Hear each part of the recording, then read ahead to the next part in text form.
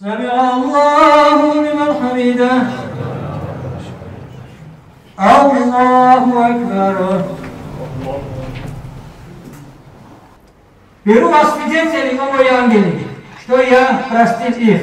Хадис достоверный в многих сахихах, и Всевышний Аллах ангелам, перед ангелами, то есть э, гордится этим, что его раби в непростых условиях приехали туда. Это может в 21 веке сейчас комфортно стало туда поехать.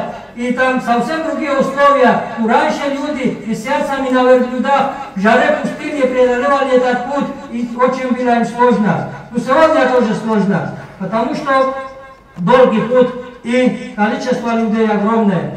Я желаю всем паломникам, братья, чтобы Всевышний Аллах принял их паломничество. Сегодня э, праздник жертвоприношения и Далатхана арабском Урбан Байрам, еще называют слово Урбан, это означает приближение к Аллаху.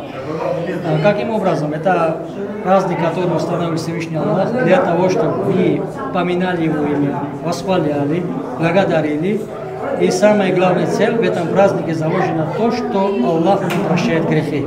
И один из великих дней сегодня, когда паломники совершают паломничество в Мекку и совершают обход вокруг э, Кааби, э, а остальные мусульмане на своих местах проживания выходят в мечеть, оживляют сунну, э, чтобы эти люди могли э, присутствовать с нами, э, разделить этот радость. И у них был сегодняшний день э, достатка в доме, и не только то, что сегодняшний день, чтобы они могли себя покормить, и не отвлекаясь э, праздничный день э, заботой, как достать свой хлеб.